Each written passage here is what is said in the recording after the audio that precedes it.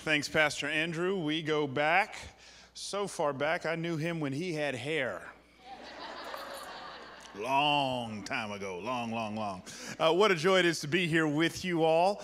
Uh, I am uh, uh somewhat sad to say uh, I've got to rush out right when I'm done preaching because my kid is in a championship game playing this afternoon in Oakland. And uh, I need to try to catch him. So hopefully you all understand that. I can't believe you've got the clock on me. It's the last service. What, what's the deal with the clock? Do, do we really need the clock? Can I just preach until Jesus comes? Is that. Uh, not everybody's clapping on that. I like that. You keep it real. No, you cannot preach that long. If you have your Bibles, please meet me in Hosea chapter 3. It's been my joy to kick off this series called Trending. As you're making your way to Hosea chapter 3, we've done three different messages. Um, uh, Andrew asked me to come in and do three different ones because he's toying with that idea uh, himself of doing three different messages every Sunday for the rest of his ministry. Is that right, uh, Pastor Andrew? no, uh, but no, we, we began this morning by talking about patience in the first service. Second service, we talked about trending into manhood. And this third service, I, I want to talk uh, with you about about love. Hosea chapter 3. Let's say a word of prayer and then let's dive into it. Father, thanks for this great church. Thanks for all that you're doing through the Bridge Church here in this section of your vineyard called Fresno. Thanks for the lives that are being transformed and changed. And I just pray a simple prayer begging you to not stop. Uh, God, continue to save souls, continue to change lives, continue to strengthen people, we pray. I pray, Lord God, that you'd use me in the next few moments that we have together to add another brick to what you're building here in this church. Use me, Father, as I scatter the seed of your word. May it fall on good ground. May it take root and produce great fruit. Change lives, save souls, we pray in Jesus' name. Amen. A young man sat down to have a conversation with an elderly woman. Not long into the conversation, this young man noticed that situated on the coffee table between them was a dish that appeared to be filled with the most delightful, delectable peanuts he'd ever seen in his life. I mean, these peanuts looked off the chain. He was distracted by these peanuts as this elderly woman is bearing her soul and sharing her heart. Finally, this young man could take it no longer and he he interrupted this elderly woman. He says, Ma'am, I'm, I'm so sorry. I know you've been sharing your heart, uh, but I'm so sorry, ma'am. Uh, for the last few moments, I've been distracted by these peanuts. I got to tell you, these peanuts look off the chain. Ma'am, would you mind if I had some? This, mo- this woman was clearly thrown by this request. She paused for a few moments. During that awkward pause, this young man was thinking to himself, This is weird. It seems to be a pretty innocuous request. I'm just asking for some peanuts. What's up with all the silent pause drama going on right now? Finally, this woman acquiesced and says, Yes, young man, you can have some of these peanuts. The conversation reconvenes. This elderly woman uh, goes back to sharing her heart as this young man is listening patiently and popping these peanuts into his mouth. Finally, a few moments later, much to his horror, he looks down and the dish is empty. Cannot believe this. For the second time, he cuts off this elderly woman and he says, Ma'am, I- am so sorry. I grew up down south and my mama raised me better than this. Here I am, ma'am, a guest in your house, and I done ate up all your peanuts. But I got to tell you, ma'am, they were as good as they looked. These peanuts were off the chain. In fact, ma'am, these peanuts look so good and they taste so good. I, I got to ask you, ma'am, where in the world did you get them from? Because I've got to have them for myself. Now, this elderly woman is clearly embarrassed. She turns a bright shade of red. She pauses for what feels like an eternity, when in reality, it is no longer than about 10 or 15 seconds. Again, this young man is going, What's going on? He's thinking to himself, This seems to be, again, a harmless request. Finally, this woman gathers herself together and she says, Young man, as you can see, I'm an elderly woman. And as such, I don't know if you've noticed by now, I have no teeth. These peanuts used to be covered in chocolate. But because I have no teeth, I just suck the chocolate off and spit them back into the dish. You all ready for lunch? The moral of the story is things are not always as they appear.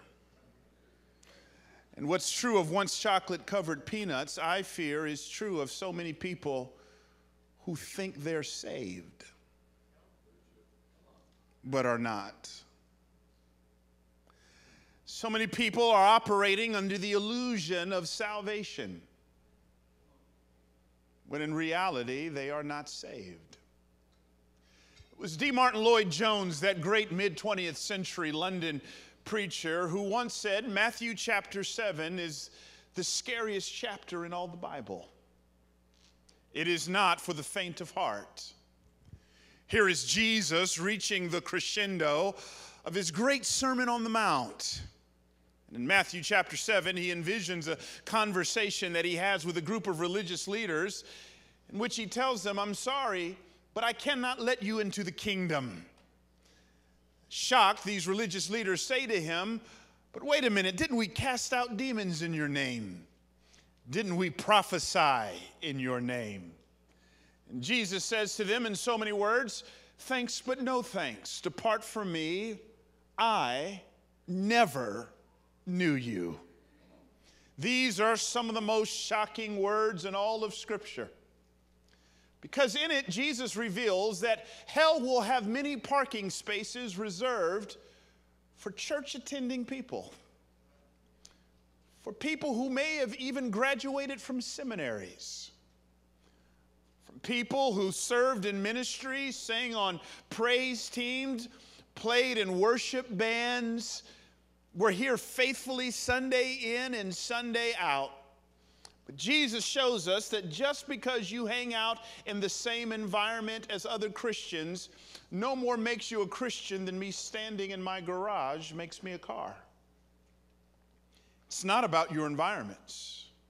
It's not about the size of your Bible. It's not the reality that you're on the longest consecutive quiet time streak of your life. These things, in and of themselves, do not authenticate your Christianity. Well, how do I know that I'm saved? Later on in Matthew 7, Jesus says, Here's how you know you shall recognize them by their fruit. I love it. Fruit is a changed and changing lifestyle that cannot be blamed on the normal maturation process of adulthood, but can only be blamed on the filling of the Holy Spirit within the life of the believer. In other words, every Christian should be able to look through the rearview mirror of their journey with Jesus and conclude two things. One, I haven't arrived. I'm not perfect. I still make mistakes. I still sin. I still think, think things I shouldn't. I still say things I shouldn't. I, I still do things I shouldn't. I, I have not arrived. In fact, I, I grew up in a little chocolate church in Atlanta, and we used to sing a song that simply said, Please be patient with me. God is not through with me yet. I have not arrived. But secondly, every legitimate Christian should be able to say that while I haven't arrived, when I look through the rearview mirror, I can also say, I am not all the way where I once was. He is changing me. My pastor, Bishop Kenneth Ulmer, he said this in front of 13,000 people one Sunday at his church, so I don't mind saying it in front of you all. He said, You know, when I first got saved, he said, When I first came to Jesus, I used to cuss at the drop of a hat. But now, since following Christ, he said, I don't cuss that fast anymore. I'm not condoning cursing. If that upsets you, please email me at Andrew Smith at the Bridge Church. He's not condon- condoning profanity. What is he saying? He's acknowledging, on the one hand, I haven't arrived. You cut me off on the freeway and I haven't had my time with the Lord. I, I might want to pull up next to you and speak to you in sign language. but on the other hand, he's saying, I, I'm not where I used to be. He's changing me. Anybody in the house can look through the rearview mirror and say, I'm not where I should be, but I'm not where I once was. He's, oh, I'm hearing some amens. Y'all gonna make this chocolate preacher feel at home in here. I'm not where I once was. You shall recognize them, Jesus says, not by their church, but you shall recognize them by their fruit. How does that happen? It happens, Ephesians 5 tells us, by the Holy Spirit. Ephesians chapter 5, Paul says, and do not get drunk with wine. I love it, but be filled with the Holy Spirit. He's writing in Greek, and the Greek word for filled is one of my favorite words. It is the Greek word pleroma. It means to be filled to overflowing. I love it. It was, it was this word that was actually used of pregnant women. And not just any old pregnant woman, but a woman in her third trimester of pregnancy. I'm talking show enough pregnant. I'm talking can't bend down to tie your shoes pregnant.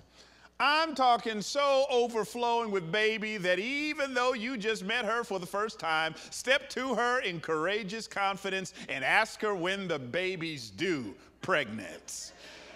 Because there's no doubt. That's the word Paul uses to be filled with the Spirit.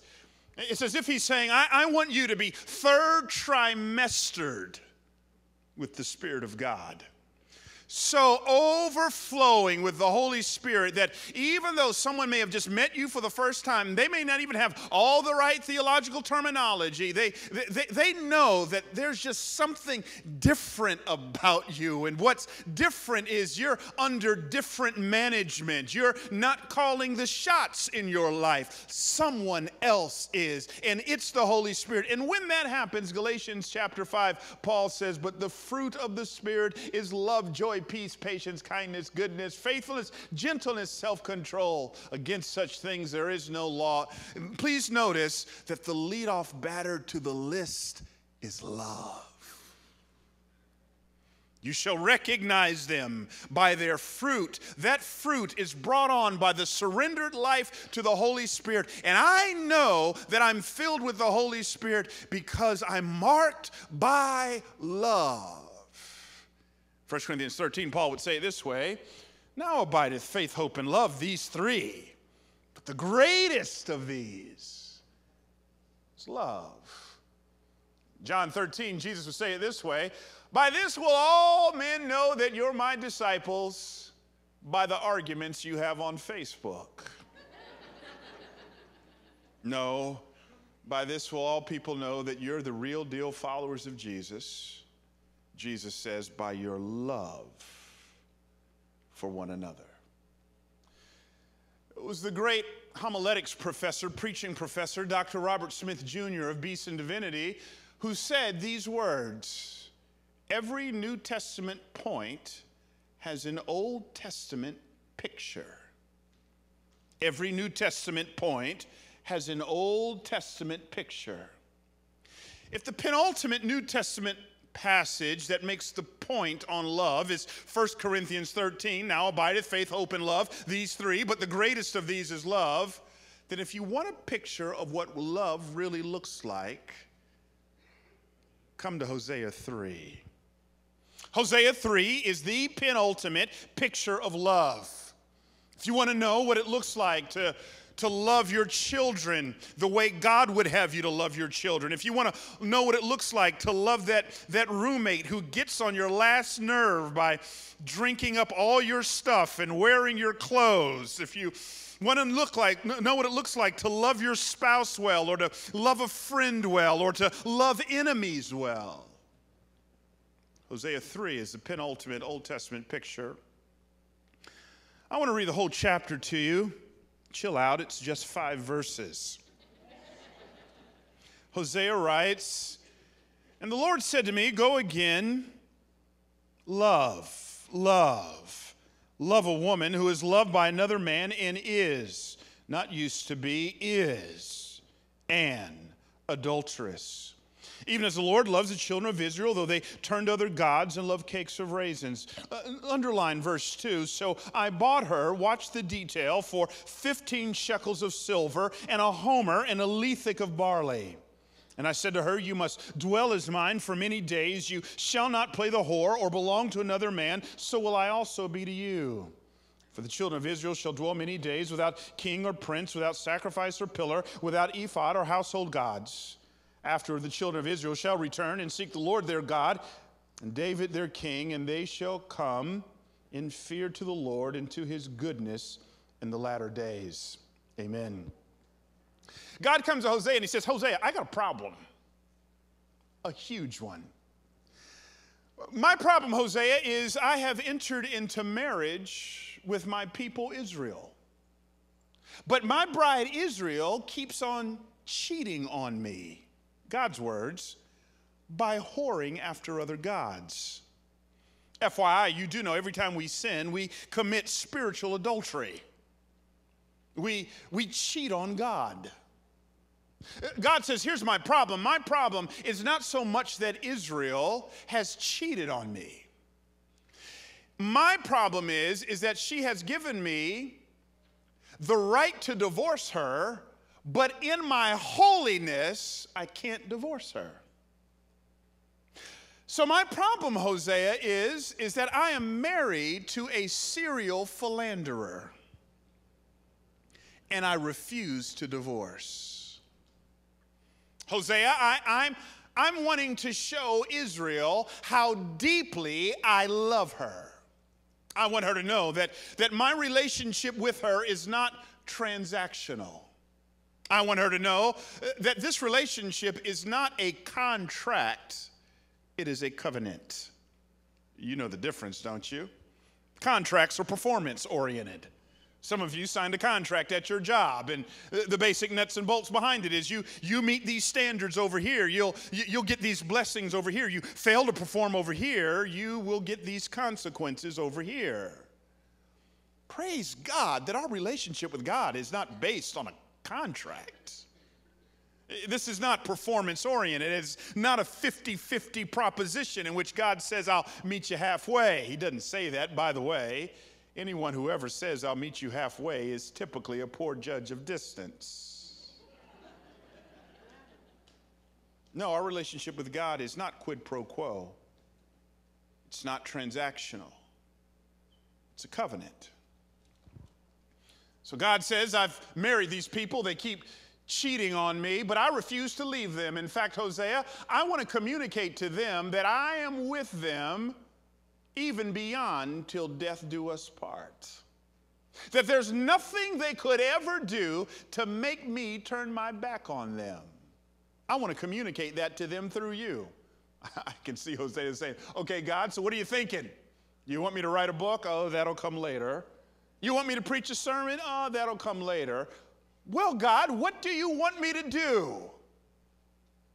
I can see God now Hosea, I, I see that you just graduated from seminary, got called to your first church. You're a single senior pastor. I'm going to change that, Hosea. You're about to get married. I can see the excitement on Hosea's face. Can't you see it? He's rubbing his hands together. Go, okay, God, who is she? What's her name? Gomer. now, no offense if your name's Gomer, that don't sound cute to me. I'm sorry if that's your name. Email me at Andrew Smith at the Bridge Church. But more strikingly, Hosea is like, Well, what does she do, God? According to chapter one, she's a prostitute. Huh. Oh, wait a minute, God. She's a prostitute. Yeah, that's right. In fact, Hosea in the words of Rick James, this ain't the kind of girl you'll take home to mama. oh, okay, I'm so glad y'all got that. I didn't know if that was gonna fly here.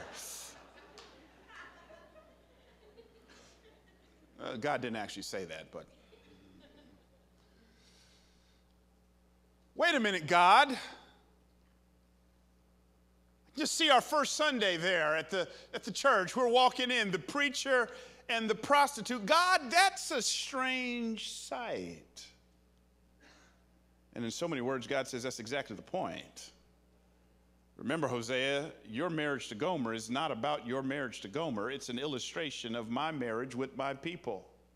And if you think the preacher being with the prostitute is a strange sight, I can do you a stranger one. The fact that I, a holy God, am with you is an even stranger sight. What does it mean to love well? Love anything authentically and deep enough, it'll take you through periods of strangeness. In fact, if you never go to strange places in your love for someone, I would argue it's not genuinely love. Our family just moved to the Bay a little over two years ago, and my youngest uh, got picked up by this really good AAU team. And our first game, I'll never forget it. We were playing in San Francisco, and we sit down, and my, my, young, my, my youngest son is the two guard. He's the shooting guard. And, uh, and the point guard, point guard, he has two moms, two women who are married to one another. We sit down next to them. We get to know them. We exchange numbers. The game ends. My wife and I get in our car. We make the long journey from San Francisco back to where we live in San Jose. On the way back, my wife and I kind of say to each other in, in similar ways What if God is calling us not to change this lesbian couple? We can't change anybody, we can't even change ourselves. What if God's calling us to love them. So we start inviting them over. They start coming over the house, and it's a little strange. Sitting at the dinner table, holding hands, doing what married folk do. And it's awkward for me. I grew up down south, y'all. Strange. We're enjoying good food. We're hanging out all throughout fall season. And the whole time I'm thinking to myself, please don't ask me what I do for a living. you talk about a record scratching moment. And sure enough, we make it through fall season and hanging out the whole time. And not once do they ask. But early on in the spring season, they're over the house and one of them says, Hey, Bryan, we've been hanging out for a while. We, we just want to know, what do you do for a living? I said, I tell people how to find true meaning, value, fulfillment in life through God's only Son, Jesus Christ. I am a pastor. One of them immediately got up from the table, grabbed her purse, and said, I didn't see that one coming. she headed for the door, seriously. And I'm thinking to myself, and y'all call us judgmental? I didn't say that because as a pastor, you can't say everything you're thinking. I cracked a joke, got her to come back to the table. We finished up the evening, we hang out some more. And a couple months later, I get a call from one of them. She said, Hey, Bryan, uh, we just want you to know we've enjoyed hanging out with you, and even though we're as different as different can be, you know, you're into this religious stuff. We call ourselves atheists. You're in a heterosexual relationship. We, we're a lesbian married couple. She said, I just want you to know that our son is getting to the age where we feel like he's, he's in need of a positive male role model. So we just sold our house and we bought a house around the corner from yours because we think you're the one who needs to pour into our son's life.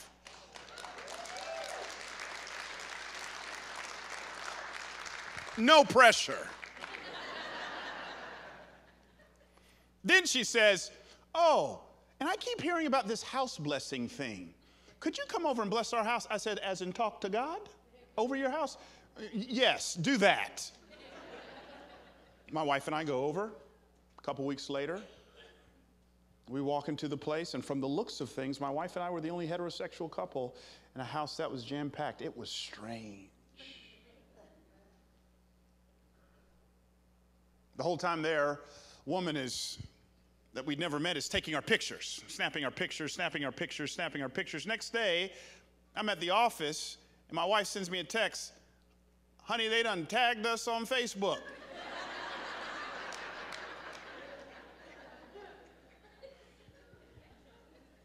a couple hours later, I get a phone call from one of the dear sweet mothers in our church, 80 something years old.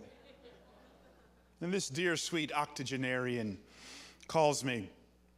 First words out of her mouth Pastor, I was on Facebook.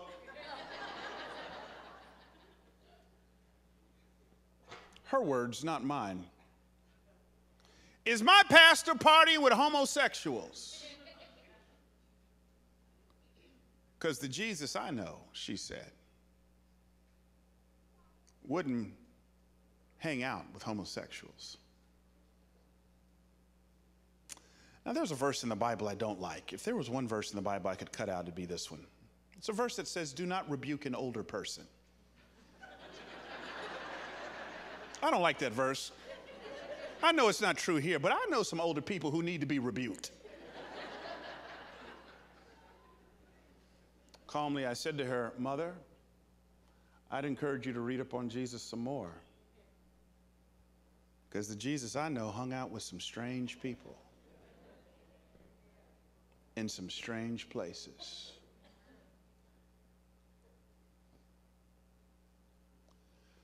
How strange are your relationships?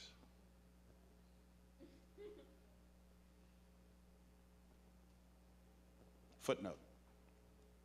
Spring season's winding up last year, and after one of our games, my wife and I come up to the point guard's two moms and says, look, my, my, wife and I have been, been talking, crazy idea. We're about to go on vacation. We're gonna go to New York for a week and then down to a Christian camp just outside of Atlanta for a week. We'd love to take your son. We'll pay for everything. We know that's a crazy, insane, big ass to take your son thousands of miles away. But so y'all talk about it, get back to, again, we'll take care of everything. They said, we don't even need to think about it. You can take him. So we take him hangs out, New York, go to the Christian camp, hang out. Last night of camp, he comes up to me and says, Mr. Loritts, can you show me how to become a follower of Jesus?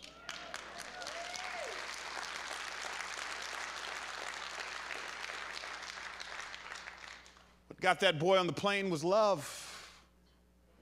What got him an audience to even hear the gospel was love. May we not be known by our position papers, but by our love. So he gets back, and I'm thinking to myself, this is going to be a doozy of a conversation. And one of the moms calls up and says, I don't know what happened on that trip. But since our son's been back, he's been he's been carrying around a big old Bible telling us we need to go to church.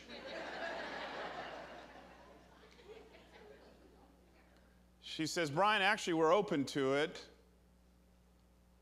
But I got a question, she says, is your church a safe place for us? Because the other churches I've been to in my life have hurt us. I says, yes, you'll come. When you come, you'll sit on the front row with me and my wife.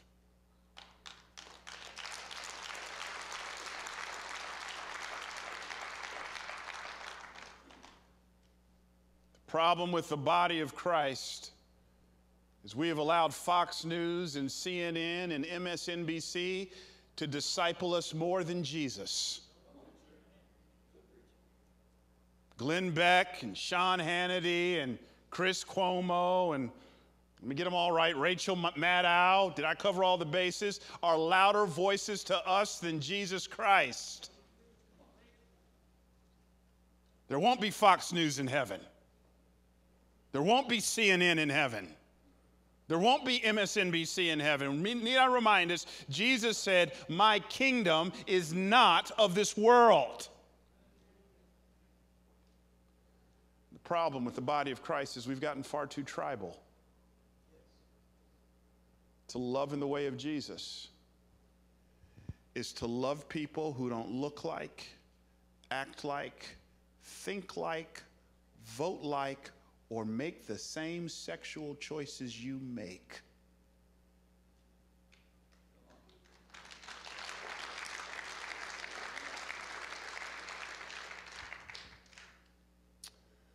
Ooh, I've got four minutes and 48, 47, 46 seconds in the last service. Something happened. We know it happened. Gomer cheats on Hosea. The opening verses of our text, God tells him in verse 1 go again, go get her. Verse 2, Hosea says, So I bought her, watch it now, for 15 shekels and a homer and a lethech of barley. I wish I had more time to explain this, but I don't. Here's what I want you to understand. In modern parlance, Gomer has gotten herself in trouble and is being sex trafficked. She's in bondage. The average cost that it took in Hosea's day to redeem a woman who was being sex trafficked was 30 shekels. So, why doesn't it say, So I bought her for 30 shekels? Why the detail? Why does it say I bought her for 15 shekels and a homer and a lethech of barley? Answer He didn't have 30 shekels. For him to emancipate the one who cheated on him cost him everything he had. He literally goes to the auction block with nothing. Second thing I want you to see about love, real quickly. If it doesn't cost, it ain't love. If you're not paying a price, I feel like I'm at the Academy Awards. Brother, you're going to be playing that piano for a while. Give me a few more minutes.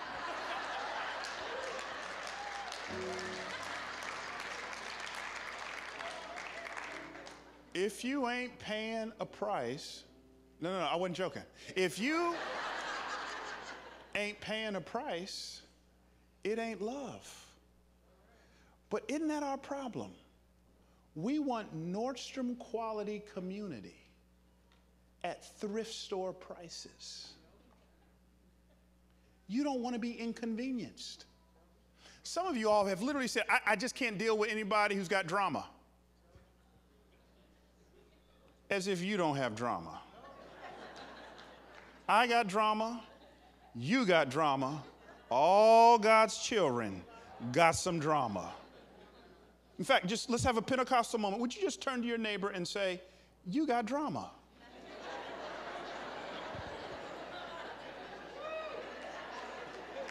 Some of y'all said that a little bit too emphatically. You've been dying to say that. The very nature of love says, I'm willing to be inconvenienced by you. I'm willing to pay the cost.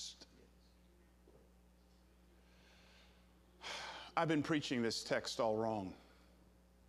Yeah, the secondary application is our relationship with one another, but the primary application is God's relationship with us.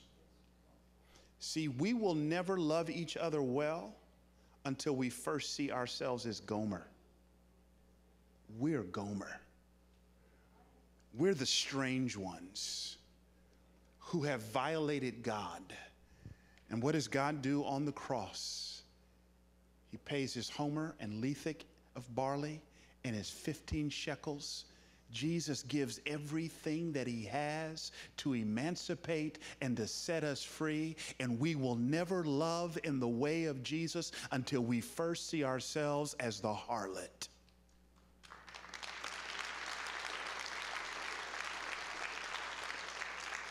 Okay, come on, Academy Award guy. Come on.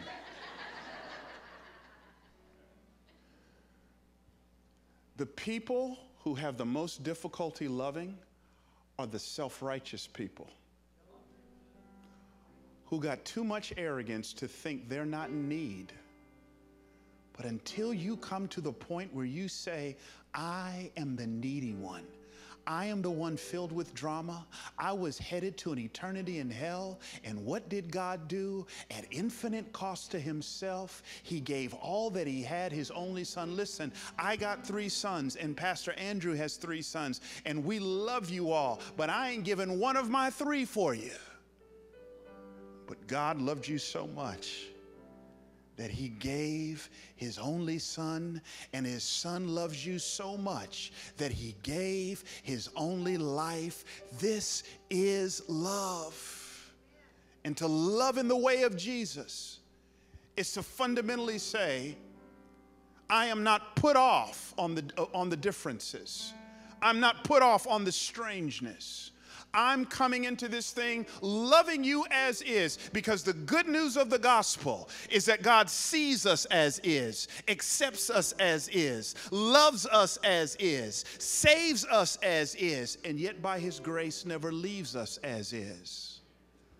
I'm not called to change anybody. That's God's business.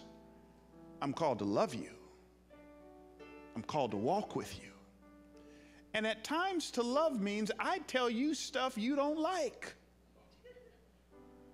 I had to have a hard conversation with this lesbian couple. They, they asked me to do their five year vow renewal.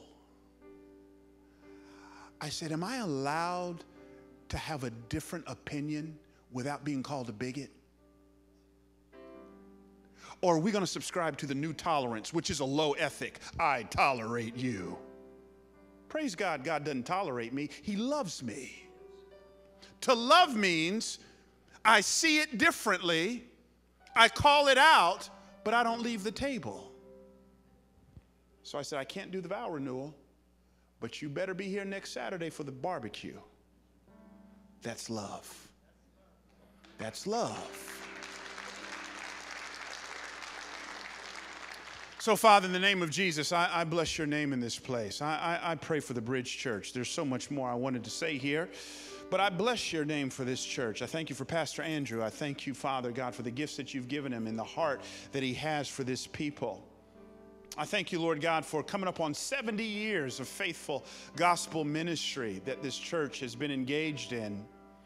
I pray for all the lives that have been changed here, for all the sermons that have been preached here, all the notes that have been taken, all the learning that has happened. But I pray above all else that the reputation of the Bridge Church would be oh, oh, that's the people who love. Oh, oh yeah, yeah. No, that's not the people who judge, that's the people who love.